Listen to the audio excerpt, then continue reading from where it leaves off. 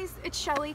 I'm here at the rink. Um, I am teaching lessons this morning, so really quickly I wanted to go over how to get up after you have fallen. Sometimes that's kind of tricky for a lot of beginning skaters or even people who go out and try skating. They fall, they don't know how to get up, they end up sliding all over the ice. So I'm gonna go over how to get up properly. So before we get started, I really wanted to talk about what to do if you feel like you're gonna fall. So we have something called the safety position. So if you feel like you're going to fall, the best thing to do is hit the safety position. How you do that? I'm skating, I feel like I'm gonna fall. I'm gonna get down on my knees, put my arms out. Here.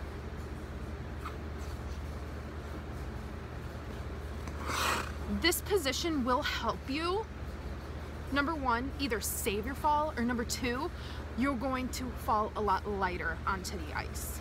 Look, I've fallen and I can't get up. What do we do? So a lot of times I see a lot of people at public skates or even skaters they do this thing called a crab walk. Please don't do that. Where you're like this. Do not. Don't get up like that. First thing you want to do, bring your hands and your feet in together.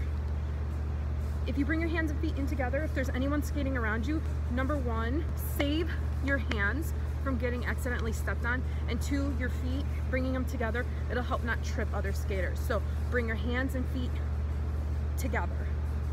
Try not to be flailing out here laying on the ice. Bring them in together. Next is bring your feet around like so. So you're in this position here. So now I'm going to get up onto my knees and my hands, kind of like a dog. Here. So now once we're in this position, we have more mobility and more control over our body, what we can do and how to push ourselves up. So the next thing we're gonna do we call this the doggy froggy. So we're in doggy position here.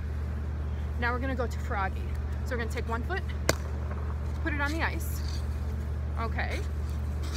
Now we're gonna take our other foot, put it on the ice, and now I'm gonna push myself up. So let's go over that again. Okay, I'm just gonna go through it as if if you were gonna fall. Together doggy, froggy,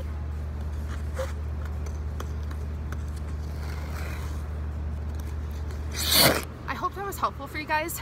Now my camera has a bunch of snow on it. Hello. I hope that was helpful for you guys.